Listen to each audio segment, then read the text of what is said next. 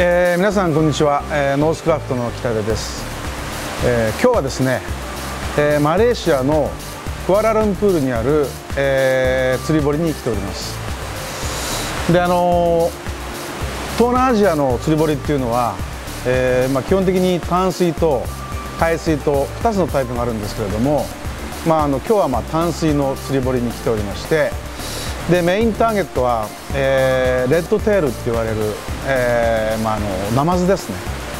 キャットフィッシュ、まあ、結構アベレージサイズが、えー、8キロから10キロぐらいっていうことで、まあ、結構大型のやつが釣れるみたいなんですけども、まああのまあ、釣り堀っていうと、えーまあ、簡単に魚が釣れるんじゃないかっていうふうにまあ思うんですけども、まあ、やっぱり毎日いろんな人が来て、えーまあ、餌ですとか、まあ、ルアーを投げているんで。えー、結構やっぱり大型のサイズは、えー、かなり手強いというふうに聞いております。で、まあ、僕も今日初めてここに来てるんですけども、まあ、あの初めての場所で、えーまあ、やっぱり最初にやらなきゃいけないっていうのが、まあ、どういった動きに魚が反応するかというところをまあ探る作業だと思うんですけども、えーまあ、大きく分けて、えーまあ、3つの、えーまあ、まあ、方向性があるかなと思うんですけどもまず一つは、えーまあまあ、リトリーブスピードですね、まあ、遅く巻いてくるのがいいのか、まあ、早く高速巻きがいいのか、まあ、それとも、まあ、普通のスピードがいいのか、まあ、この辺の、まあ、スピードの違い。で2つ目はレンジですね。まあ、大体釣り堀っていうと、まあ、水深が1.5メーターから2メーターぐらいなんですがまあ、その水深の、まあ、表層部分がいいのか、まあ、ボトムがいいのか中層がいいのかというところですね。で最後3つ目は、まあ、ルアーの動きの方向性ですね、えーまあ、キャストして巻いてくる、まあ、普通はこう横の動きになるんですけども、まあ、この横の動きがいいのか、まあ、もしくはこのリフトフォール上下の動きがいいのかこの方向性ですね。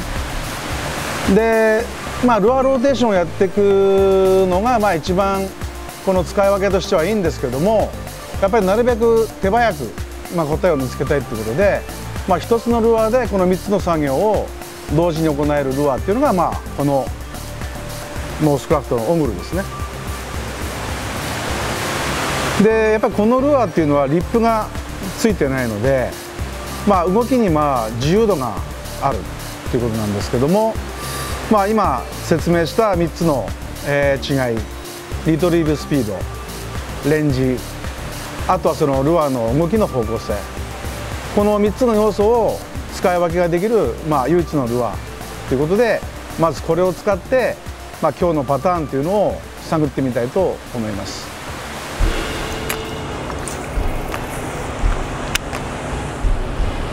今小岸際をやってます。すごいゴツゴツしててなんか多分こういう岩が入ってるんだと思うんですけど。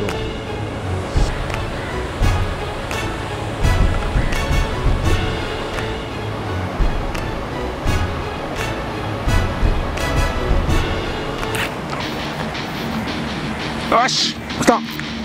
来たぞ。おっしゃ。おお強いこれ。やっぱ足元でね。おしおおとととととすげえ。すげえすげえすげえパワー。すげえ頭振るあおおこれ本当にやばいなこれ全然全然こう弱る気配がないですねもうドラッグ出ちゃうで結構これもう目いっぱいドラグちょっと弱ってきたかな。さあどうだ？おお でけえ！でけえでけえでけえ！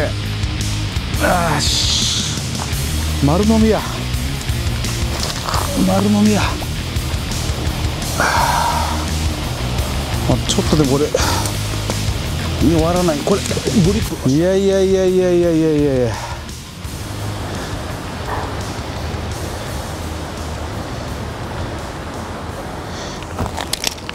失礼します。はい、えーまあ、今一発目結構でかいの来ましたけど、まあ、大体もう次やるときにこう慌ててまた作業入っちゃうんですけどもうやっぱりここも結構傷んでるんで、まあ、やっぱり1匹釣ったら台結び替え。であとスラローの場合はフォールの時にこう少しこうスパイラル状にフォールするんで。これがまたあの弱ってそこに落ちてる魚に非常に似てる。でプッとやってスーッとです。でこのボディ全体の面積で水を押すんで、まあ、バイブレーションとかってどうしても薄いですからこうゆっくり巻いた時にこうまっすぐこういう姿勢保つのはすごく難しいんですよ、まあ、どうしてもこう倒れちゃうんですけど、まあ、エアグルのエアオングルの場合はこう座りがいい。でこう動いたり、まあ、こう動いたりとか。こう座りがいいっていうのがまあ一つ特徴ですよね。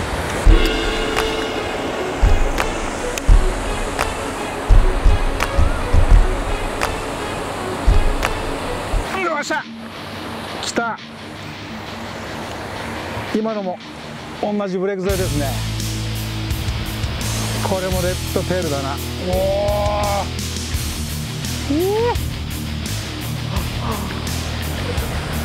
今度はおおおすげえ。なんで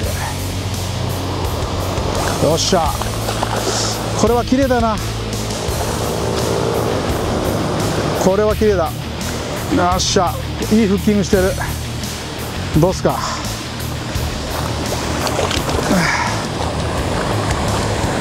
これはバッチリかかってますね。バッチリですね。サイズはさっきのほどではないけど。よっしゃ。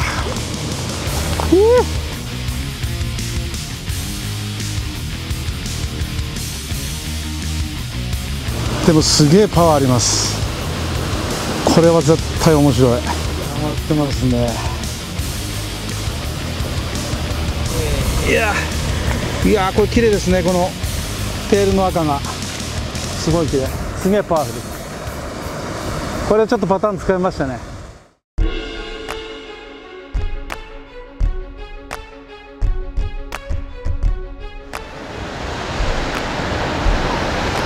今引っかかってますね。これを半オフで。あおよっしゃ。食ってた。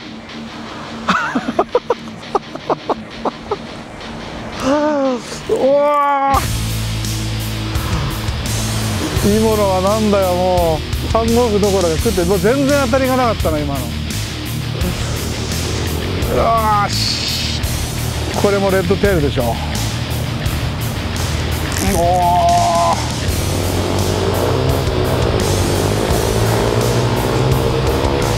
お強い強い強い強い強い。ベリファいいですね。バッチリじゃないですか。いいね。バッチリ。これねあの今あのラパラの東南アジアチームが作ってるロッドでモンスター、まあ、今日これメインに使ってますけどこれはすごいです。よし。よっしゃ 完全にパターンですこれですね。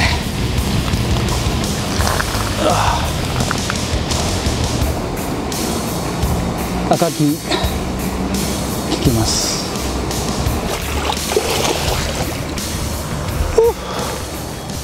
えー、このエアグルの8号 SLM まあ最初はあのーまあ、速いスピードで巻いてみて、まあ、やっぱり反応があんま良くなかったんで、まあ、どんどんこうスローにしていって、えーまあ、横の動き縦の動きいろいろやったんですけども、まあ、最終的には、えーまあ、ボトムトレースのストップゴーかなと。世界中どこでも効きますねこれは。よし。おおこれはすごい。これはすごいです。もう日本にいるナマズとは比べ物にな比べ物にならないぐらいパワフルですと奥使いやすいし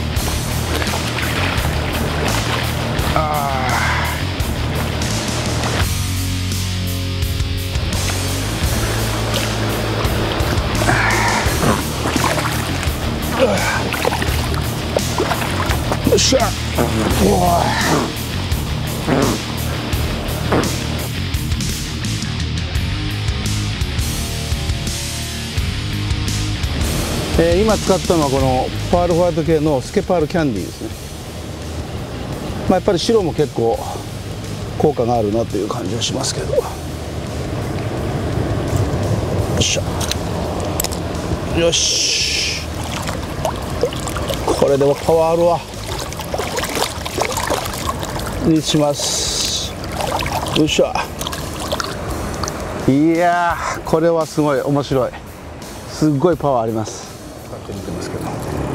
まあこれも8号スラロームですね。はい。やってます。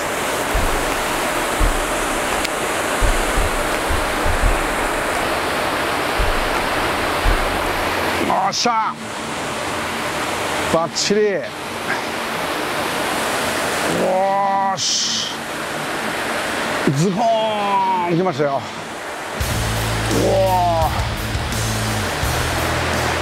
あエアグル85 SLM 今はですね、えー、ゴールドチャートに変えて一発目で。おお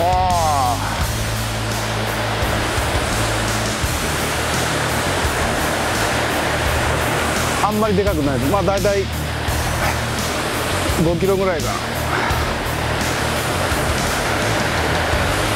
おでかいや。結構でかい。えー、これレッドテールが5本目。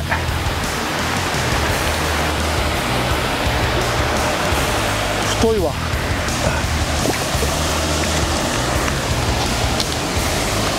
よし、えー、これゴールドチャートですね。この辺やっぱり効きますね。これ変えて一発目です。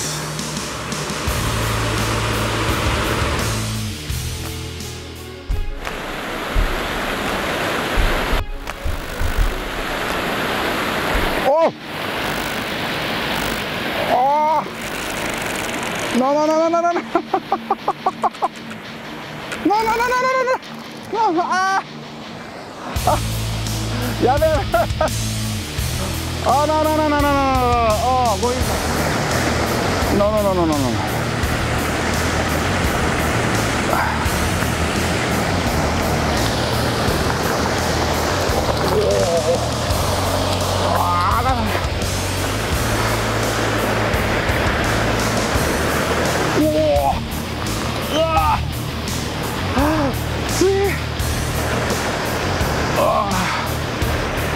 この竿やばい。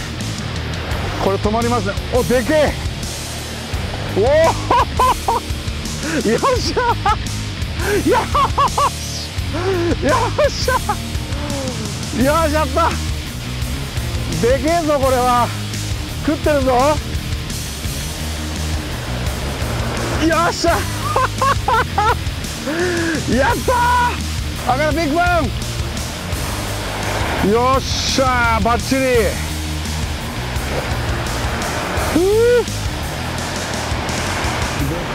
やったメーター超え。やりましたわ。でけえ。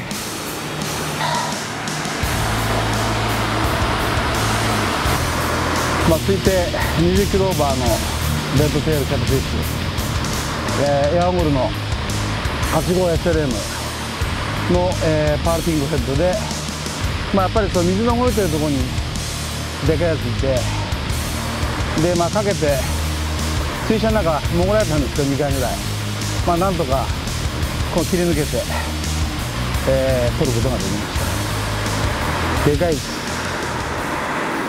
マレーシアのクアラルンプールにある、えーまあ、淡水の釣り堀で、まあ、あのレッドテールキャットフィッシュっていう、まあ、あのナマズですね、まあ、これをメインに、えーまあ、狙ってきたんですけどもまあやっぱりあの予想通り、えーまあ、やっぱりポンドの釣りっていうのは非常にまあ難しい、えー、まあやっぱりイージーじゃないなっていうのを感じたんですけども、まあ、そのなるべくこう短い時間で、えーまあ、答えを見つけたいということで、まあ、今回このエアオグルですね、まあ、リップのついてない、えーまあ、かといってバイブレーションでもない。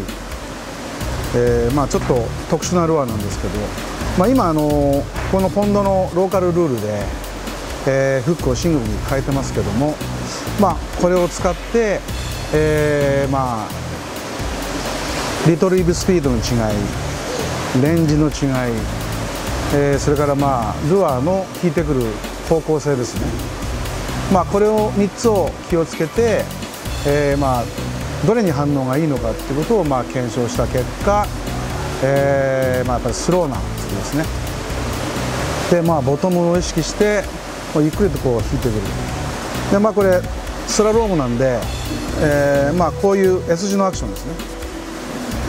でゆっくり引いても S 字はなるんですけど、まあ、最初の取っかかりとしてあまりこうゆっくり引っ張りすぎるとこう移動するだけになっちゃうんで引き始めちょっと強めに引って引いてくるともう動き出しでま S になっているとゆっくりでもこう S でボトム近くまあ這うように動いてくるんですけどもまあ一応そのパターンで、まあ、場所はまあ、えー、自分が立ってる位置から沖よりも、まあ、なるべく岸に平行に、えー、投げて、まあ、ショアラインからまあ3メートルぐらいのところに位置するブレークですね。で池の深さは大体まあ1メートル前後。でブレークの上のシャローは30から40センチ、まあ、深いところで60センチぐらい。でそのやっぱりシャロー側のエッジですね。まあ僕はここを意識して、えー、通してきたんですけども大体まあ見事にそこでまあバイトが集中してまあ本当にあの独特のスコーンというね吸い込むあたり。でまあ最初一発目やっぱちょっと慣れてないでまああの初めてだったのもあるんですけど飲み込まれちゃったんですけど後のやつはまあ大体えー、ともう合わせてるんでまあ大体まあフロントフックがまあ口のいいところにかかってまあそういうふうな、えー、ところまではまあ持っていけたかなと。でまあほんで最後の最後にまあ20キロオーバー、えー、すごいでかいやつも取れたんですけどもカラーローテーションねしてみたんですけどもまあこのゴールド系パール系ですね。で朝方はこの、えー、スケパール茶スケパール。朝方はこの、えー、パールでもちょっとまあ透明が入ってる、えー、スケパールキャンディー。まあこれで切っていく。でまあ一番でかいやつはこの、えー、パールピンクヘッド。ですね。まあいろいろ使ってみたんですけども結果的にはまあゴールド系パール系がまあいい結果が出たかなというところですね、えー、皆さんもですね是非、まあ、こういう特に魚がすれている場所ではこのエアオムル、えー、スラロームを使って、えー、皆さんが狙っても釣れない魚を、えー、取ってみてください。ではまた次回